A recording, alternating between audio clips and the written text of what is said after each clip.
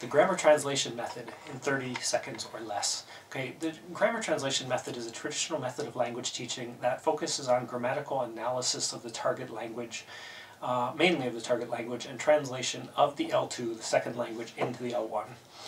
Uh, it's based on the direct method that was used for the teaching of classical languages such as Greek and Latin, and uh, it's still kind of a common method among many Japanese teachers of English in Japan, especially at the high school level and below. That's the grammar translation method.